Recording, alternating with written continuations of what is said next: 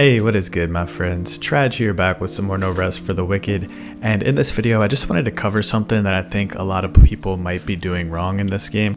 Um, so it can be really easy when you come across a potion, whether it's small or large, I'm sorry, an XP potion. Um, it can be easy to just consume it right away to just gain more levels on your on your main character, but as long as you're past, you know, even level 11, you are completely wasting the potion. Um, these XP potions I think you should be stacking and then once you have about six, six large potions that you get just from killing bosses and, you know, drops from enemies and runs through the Cerim Crucible and chests, once you have about seven of them, you can make a new character and try a different build and you don't have to grind from that 1 through 11.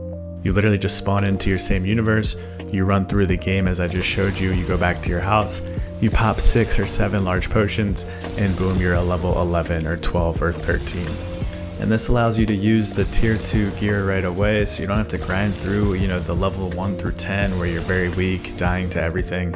Right away you're level 11 and you'll have enough attribute points to be able to buy or to be able to use any weapon because you can scale any of your attributes even the 42 weapons that you've picked up along the way you know the legendaries rarest whatever it may be uh, your character will now be you know 13 attributes in. You can see you have enough points to to be able to use any weapon. In this case, I wanted to try a faith build. I didn't want to grind a character up, so I just did my method. You'll be able to find, you know, six large potions um, pretty fast. You know, just play the game as you would. Just make sure you save those potions. You definitely don't want to use them on a character that you're cruising through the Crucible with as is. You're going to get your XP just naturally with them. So save those XP potions for, for new characters and blast your character from a 1 to a 13 right away. And this does seem like the type of game where you're supposed to have multiple characters, multiple builds. Um, I wouldn't be shocked if they never, you know, released a potion that you can drink to reset your stats. A lot of people have been asking for that.